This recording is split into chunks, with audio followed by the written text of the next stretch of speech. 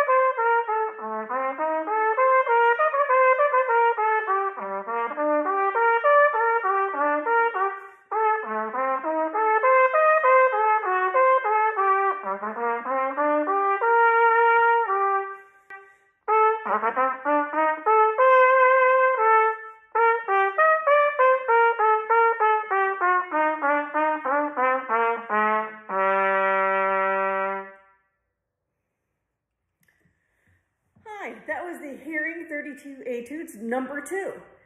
Uh, the trick with this one is all those low notes, getting down to the bottom.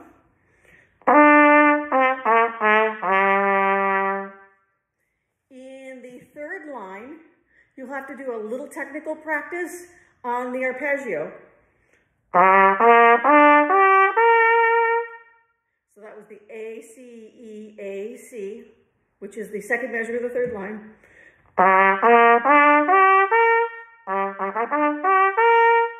then the next measure.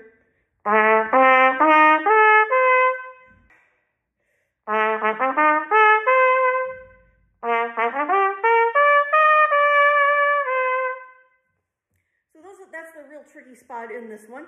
Um, when you're going for those low notes, make sure you are open enough in your aperture, which is right here in your embouchure, and you've got enough air to go for the low notes, and then to be able to bring it back up in pitch.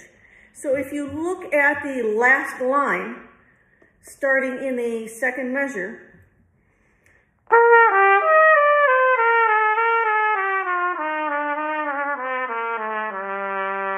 you notice I slurred it to make sure I have good sound throughout the register.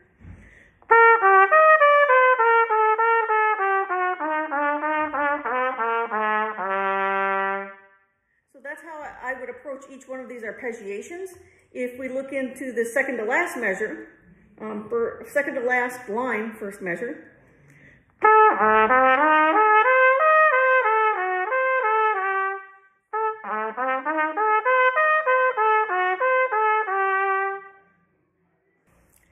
And then I would continue to work through all those arpeggiations the same way. Slur them first for cleanliness and evenness of sound, and then tongue them. So good luck with this etude and enjoy the range and working on all the uh, beauty of your sound.